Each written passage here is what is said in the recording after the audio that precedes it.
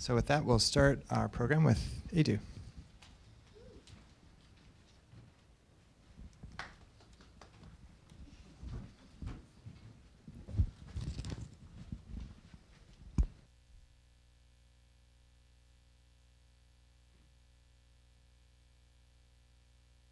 Well, welcome. Hello. Uh, I'll talk today to you about uh, cell phones.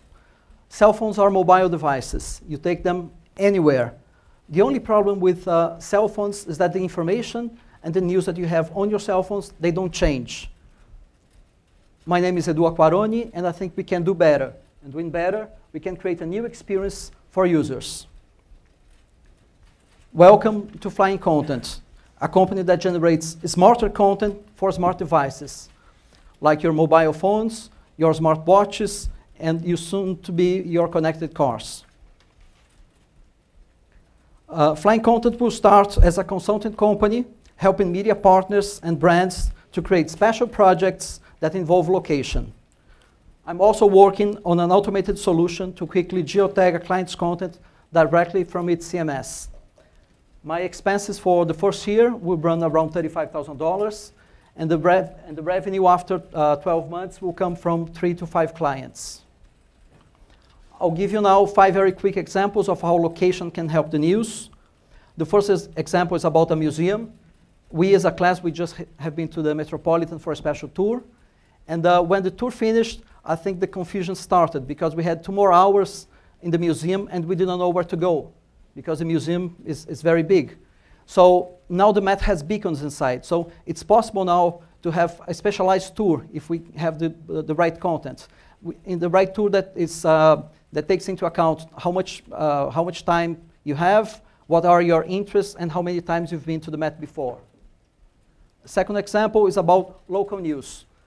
Imagine if those companies, they could talk, talk directly to users that were in the area of the, the fire in the Lower East Side. They could, they could give them uh, information about hospitals, about street closures, and about business that were affected by the fire. And when users, they start to receive those informations, they start to talk back, and then you can create uh, a better story for everybody. Third example is for big newspapers like the New York Times. Uh, they can use location for special projects. Uh, that's a story from 1904. It's about uh, how Times Square got its name, and I think it's fascinating. And if you receive that story when you're walking around the place, has a, a totally different meaning, and a story such such this becomes relevant again. And uh, you can create a new revenue for the newspaper.